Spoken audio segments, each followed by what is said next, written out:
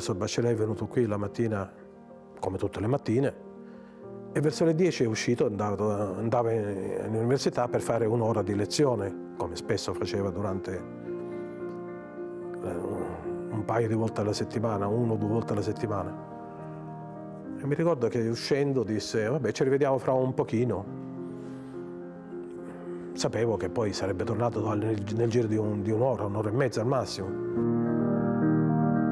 Durante la lezione eh, ripetutamente si apriva e si chiudeva la porta dell'aula in maniera incomprensibile rispetto a, alle altre volte.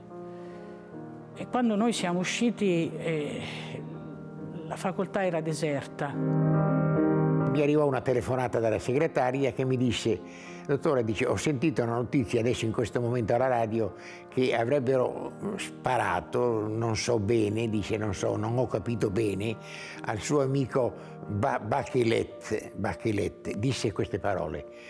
Corsi immediatamente alla casa di Vittorio per incontrare la famiglia, la moglie, per sapere di che si trattava.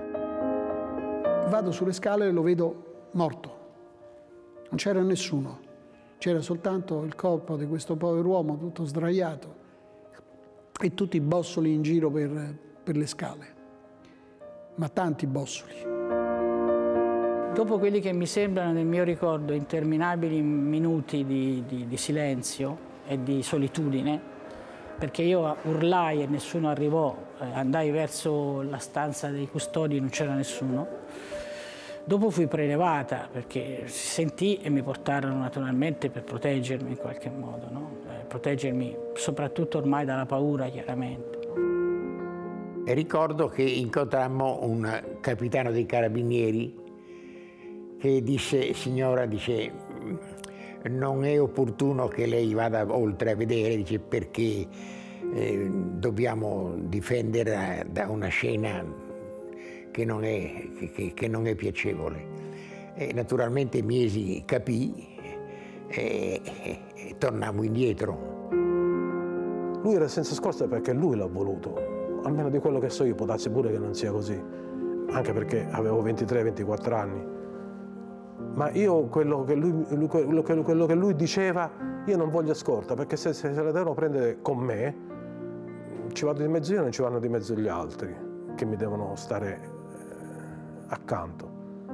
Ecco, cioè lui questo era, mi sacrifico io ma non devo sacrificare gli altri.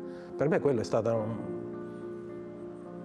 una cosa che, che, che, cioè non credo che nessun altro l'avrebbe fatto una cosa di questo genere, per me è un eroe, è un santo. Fu un terribile giorno quello del 12 febbraio 1980, terribile proprio perché questa cara persona eh, era scomparsa.